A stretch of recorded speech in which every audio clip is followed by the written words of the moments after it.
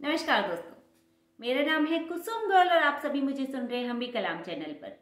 मैं presently Delhi government schools में as a primary teacher work कर रही हूँ। इससे पहले मैंने 2017 टू 2019 केवीएस जामनगर गुजरात में काम किया। उसके बाद मैंने एमसीडी स्कूल्स में भी कुछ समय के लिए काम किया, लेकिन फिर फाइनली मैं दिल्ली गवर्नमेंट स्कूल में ही आ गई। सो so फ्रेंड्स आज हम बात करेंगे कि बायोडाटा कैसे फिल किया जाए बायोडाटा क्या होता है, इसकी कितनी कॉपीज मिलेंगी हमें कहाँ से मिलेगा और क्या हमें घर से फिल करके लेके जाना है या वेन्यू पर फिल करना है, आज हम इन सभी क्वेश्चंस के बारे में बात करेंगे। पहला सवाल कि बायोडाटा कहाँ से मिलेगा? सो बायोडाटा देखिए, या तो आपको ईमेल पर ही आ जाएगा जो आपकी रजिस्टर्ड ईमेल आईडी होगी केवीएस के पास, या तो आपको उस ईमेल आईडी पर ही आ जाएगा, वरना आपको एक नोटिफिकेशन आ जाएगी कि आप केवीएस की वेबसाइट से डाउनलोड कर लीजिए। ये केवीएस की वेबसाइट पर इजीली अवेलेबल है आप अभी भी जाकर चेक कर सकते हैं।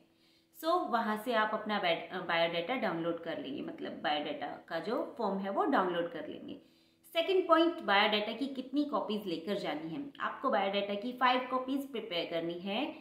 अगला पॉइंट कि क्या बायोडाटा की एक कॉपी हम फिल करके बाकी की कॉपीज प्रिंट आउट निकाल लें या फिर फ़ोटो कॉपीज कर लें तो फिर नहीं आप सभी कॉपीज अपने हाथ से फिल करेंगे। Neat and clean handwriting में वो आप खुद की हैंड राइटिंग में फिल करेंगे।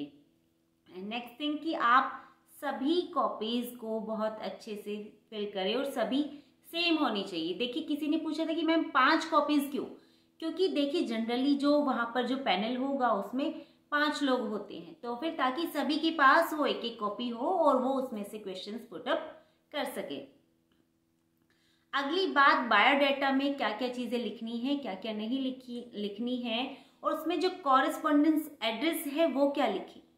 तो देखिए एड्रेस दो टाइप के होते हैं। एक परमानेंट एड्रेस होता है एक कॉरेस्पॉन्डेंस एड्रेस होता है। सो कॉरेस्पॉन्डेंस एड्रेस में आप वो लिखेंगे जहाँ पर आपके जो लेटर्स हैं जो आपका जो ज्वाइनिंग लेटर होगा को लेटर होगा वो आपको मिलेगा। सो so, आप वो वाला एड्रेस वहाँ पर डाल सकते हैं। अब देखिए अगली बात, इसमें एक कॉलम आपको दिखेगा कि सब्जेक्ट्स ऑफर्ड उसमें एक कॉलम होगा कि आप मान लीजिए आप ग्रेजुएशन का लिख रहे हैं कि ग्रेजुएशन में आपके कौन से सब्जेक्ट्स थे? तो आप वहाँ पे ज़रूरी नहीं है कि तीनों ईयर्स के ही सारे सब्जेक्ट्स फिल कर रहे हैं। जो कॉमन सब्जेक्ट्स थे, वो लिख दीजिए। वो इतना ज़्यादा मायने नहीं रखा जाता। एक ओवरव्यू लिया जाता है कि हाँ ठीक है कौन कौन से सब्जेक्ट्स थे।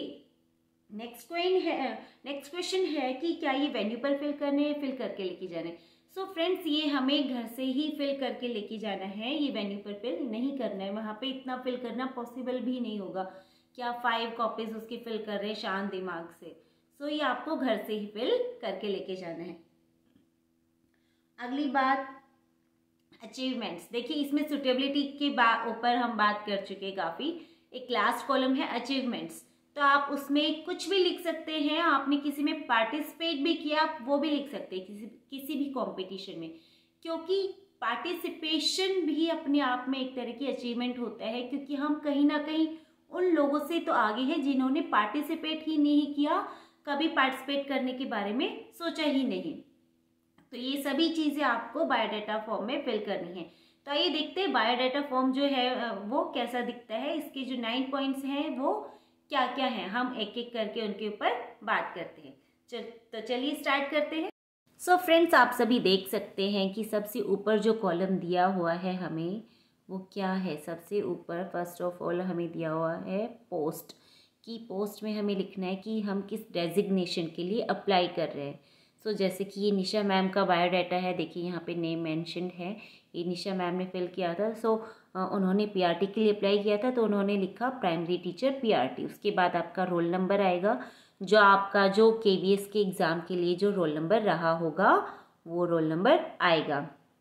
उसके बाद देखिए, आपका जो थर्ड कॉलम है दैट इज़ कैटेगरी यानी कि आपने के के फॉर्म को अप्लाई करते टाइम जो आपने कैटेगरी फिल की होगी, वो आप यहाँ पर फिल करेंगे। उसके बाद फ़र्स्ट पॉइंट हमारा है नेम उसमें आप नेम लिखेंगे जो आपकी टेंथ क्लास की जो मार्कशीट में जो नेम होगा, आप वो नेम यहाँ पर लिखेंगे। उसके बाद एड्रेस फॉर कॉरस्पॉन्डेंस जिसके बारे में हम बात कर चुके हैं।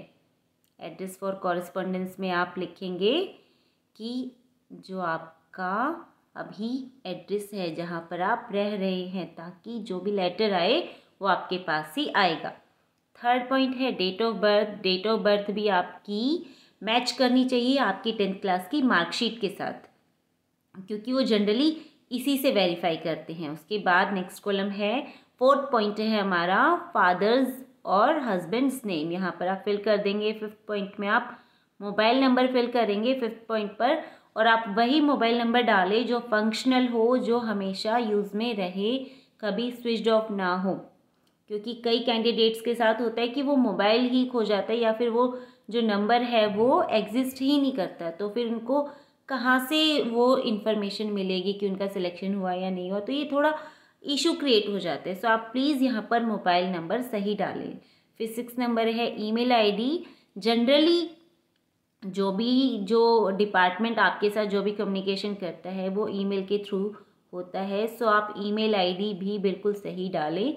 अब देखिए सेवन पॉइंट पर हमें एक पूरी टेबल दी हुई है। यहाँ पर एक पूरी की पूरी टेबल है, जिसमें हमें अपनी एकेडमिक एंड प्रोफेशनल क्वालिफिकेशंस लिखनी है। एकेडमिक यानी जो हमने स्टडीज़ की हुई हैं वो, और प्रोफेशनल क्वालिफिकेशंस यानी कि जो हमारी जॉब रिलेटेड क्वालिफिकेशंस है। एकेडमिक मान लीजिए आपने ग्रेजुएशन की हुई है मास्टर्स किया हुआ है तो फिर वहाँ पे। और यहाँ पे हमें ध्यान देने के beginning from plus two level यानी कि ट्वेल्थ क्लास से हमें स्टार्ट करना है फिल करना।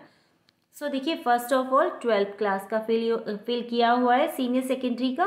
यहाँ पर आप ईयर ऑफ़ पासिंग लिखेंगे या आप जो अपना सर्टिफिकेट होगा ना या मार्कशीट होगी उसके नीचे मेंशन होता है कि ईयर ऑफ़ पासिंग आप वहाँ से देख के फिल करेंगे। उसके बाद total marks and marks obtained year of percent percentage of marks उसके बाद सब्जेक्ट्स ऑफ़र तो फिर देखिए यहाँ पे आप बहुत सारे सब्जेक्ट्स को लिस्ट आउट ना करें। नॉर्मली लिख दीजिए कॉमर्स स्ट्रीम विद मैथ्स लिख सकते हैं अगर आपके पास मैथ्स थी। उसके बाद duration of course so twelve months one year की होती है ट्वेल्थ हमारी एंड बोर्ड या यूनिवर्सिटी सो जैसे कि Delhi C B S Delhi में C B S E board से ही किया था सो so, आप यहाँ पर अपना बोर्ड लिख देंगे। उसके बाद जैसे कि जो कैंडिडेट्स ई टी जो जे बी टी होती है या फिर डी एल एड होती है उसके बेसिस पर फिल कर रहे हैं वो यहाँ पर वो फिल कर, कर दिया गया है उसके बाद सी टेट फिल कर दिया है जिनके पास ग्रेजुएशन और जो आप मास्टर्स शो कर रहे हैं वो भी नीचे नीचे फिल करते जाएँगे। ठीक है उसके बाद हम नेक्स्ट पॉइंट देखते हैं कि उसके बाद नेक्स्ट कॉलम में हमारे पास क्या होगा। देखिए उसके बाद हमारे पास एट्थ पॉइंट में क्या है? एट्थ पॉइंट पर है। Experience along with pay matrix या फिर लेवल पे बैंड विद ग्रेड पे तो देखिए, इसमें आप इन चीज़ों का ध्यान रखेंगे कि फ़र्स्ट पॉइंट है post held name of the institution indicate whether the institution organisation is central state government PSU यानी public sector sector undertaking autonomous bodies of central और स्टेट गवर्नमेंट क्या इनमें से है? येस और नो ठीक है?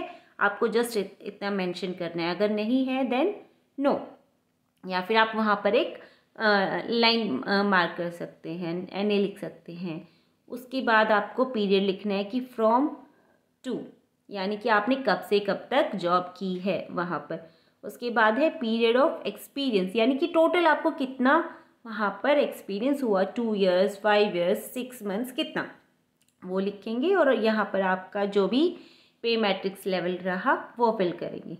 उसके बाद अब हम आ जाते हैं एट पॉइंट पर that is a short note your suitability to the post ये आपको जनरली फिफ्टी वर्ड्स में ही फिल करना होता है।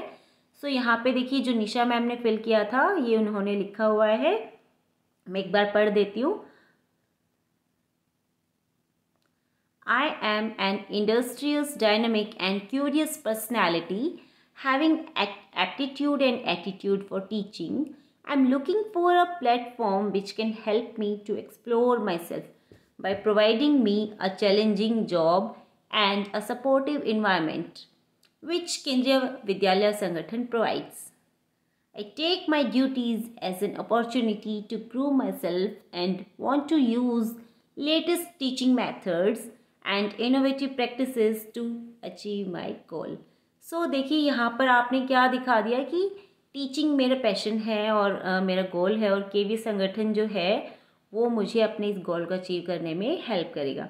सो so, उसके बाद लास्ट है नाइन्थ पॉइंट जिसमें आप एनी स्पेशल अचीवमेंट जो भी आपकी अचीवमेंट्स रही होंगी वो फिल कर देंगे। जैसे आपकी कभी मतलब कोई पोजीशन आई हो ओवरऑल मतलब जो थोड़ी सिग्निफिकेंट हो आप कोशिश करें कि मतलब बहुत छोटी छोटी कि मैं टेंथ नाइन्थ क्लास में या सिक्स क्लास में कोई फ़र्स्ट पोजीशन आए उस तरह की नहीं लिखे। आप कुछ किस, कहीं पार्टिसिपेट किया है, किसी कंपटीशन में, वो सब लिख सकते हैं और जहाँ पे आपकी कोई रैंक आई या फिर नहीं भी आई से पार्टिसिपेशन भी किया है तो भी लिख सकते हैं, क्योंकि पार्टिसिपेशन भी एक बड़ी बात होती है। लास्टली आप यहाँ पर डेट लिखेंगे, जो आपके इंटरव्यू की डेट रही होगी वो, और फिर आपके यहाँ पर नीचे सिग्नेचर्स सो आई होप आप सभी को ये थोड़ा हेल्पफुल हेल्पफुल रहने वाला है तो फिर आप प्लीज़ ये ध्यान से फिल करें और आपको इससे रिलेटेड कुछ क्वेश्चन हैं तो आप प्लीज़ कॉमेंट बॉक्स में लिखिए।